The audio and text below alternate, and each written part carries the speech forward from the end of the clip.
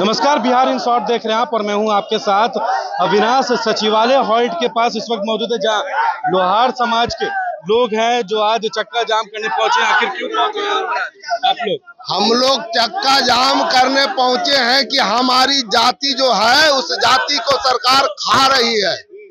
हमारी जाति है लोहार जाति और हम लोग बिहार की मूल जाति हैं और इस जाति को कमार जाति से जोड़कर बिहार सरकार ने हमारी आरक्षण खत्म करने की काम किया है। उन्नीस सौ पंचानवे में बिहार सरकार के महाधिवक्ता ने सुप्रीम कोर्ट में कहा था कि लोहार नहीं से लोहारा पढ़ा जाए।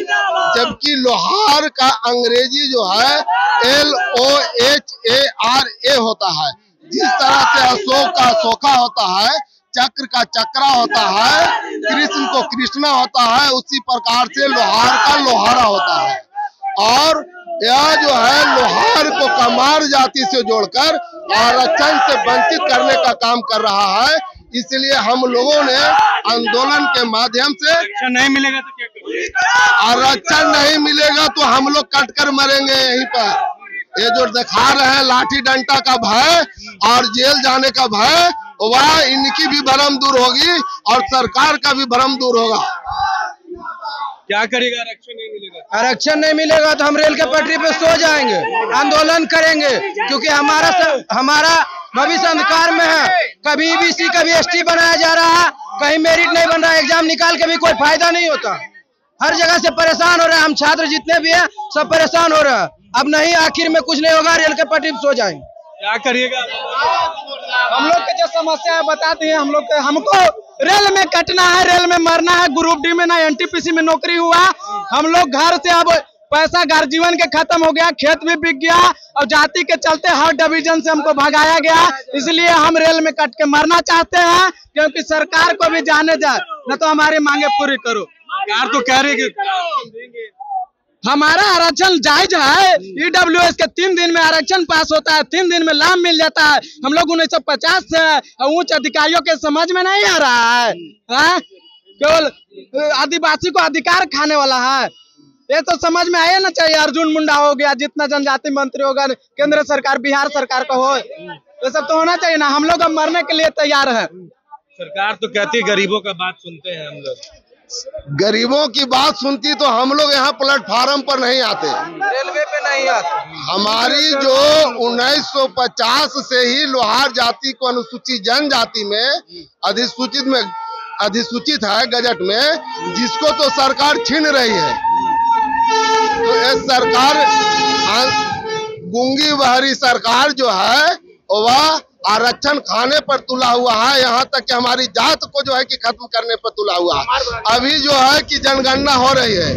आप लोग उस जनगणना का जो फॉर्म है, उस फॉर्म में देखिएगा, हर जाति का जो है कि अलग अलग कोड है। कहाँ कौन सी जाति का कोड है? लेकिन लोहार का जो है कि कहीं भी उस तरह का कोई कोड नहीं है। एक जगह जो है, लोहारा लोहरा करके है, एक जगह कमार लोहार कर्मकार करके है।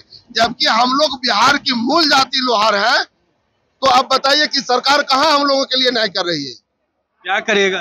अच्छा नहीं मिलेगा तो। अच्छा नहीं मिलेगा। आंदोलन आंदोलन चल रहा है। आंदोलन होगा। उनको आने वाले चुनाव में उनको बताया जाएगा। हमारे पास नब्बे लाख बिहार में लोहार लोग है।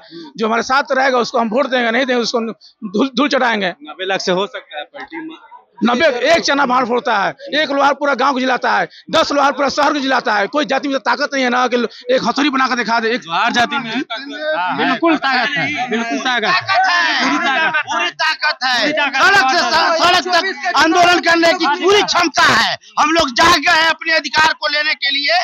हम लोगों को अधिकार से वंचित रखा गया है।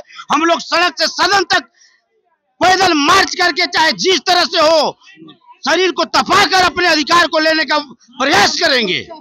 आरक्षण के लिए कब तक लड़ेंगे? अभी हम लोग स्वेच्छापूर्ण आंदोलन कर रहे हैं। नहीं तो फिर जैसे जाट आंदोलन में देश जला था उस देश जलाने का भी काम करेंगे।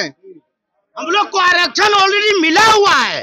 हम लोग को केवल जनजाति मंत्रालय में माननीय अर्जुन मुंडा जी को केवल रोक के रखे हुए हैं। और नहीं तो तेईस 2016 में आदरणीय प्रधानमंत्री जी ने अड़तालीस दो हज़ार छह एक्ट को रिपील कर दिया था और हमारी हमारी बात को अर्जुन मुंडा जी नहीं मान रहे हैं और उन्हीं को लेके आज हम पूरी लोहार जाति बिहार के परेशान हैं और सड़क से रेल पटरी पर आने का काम किए हैं। हम लोग मरने के लिए तैयार हैं अपने आरक्षण को पाने के लिए। देख रहे हैं जिस तरीके से। आपका पिता का नाम आपसे छीन लिया जाएगा तो आपको कैसा लगेगा? हम स्वतंत्र जाति, भगवान विश्वकर्मा का वंशज है। हमारा अधिकार हमसे छीना जा रहा है। आपको अगर आपका बाप का नाम छीन के दूसरा का बाप का नाम दिया जाएगा, आप स्वीकार कीजिएगा। ये हमारा प्रतीक है, ये हमारा इससे हमारा रोजी रोटी चलता है। पहचान है हथौड़ा।